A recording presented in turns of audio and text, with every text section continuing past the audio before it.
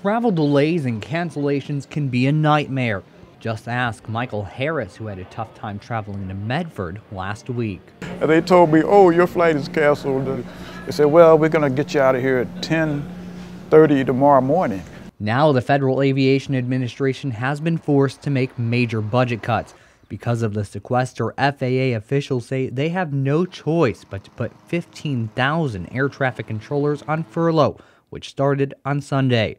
Meaning, with a smaller amount of employees, delays could stack up from just a few minutes to up to four hours. The actions could also potentially delay as many as 6,700 flights a day. However, it appears as if the FAA furloughs won't directly impact the Rogue Valley. Our tower is a contracted FAA tower, which means that they're not FAA employees. Our contract is not, has not been in jeopardy for closure. They haven't reduced forces, so our tower is operating real, really well. Flights in and out of Medford do travel to some of the major cities who will be affected.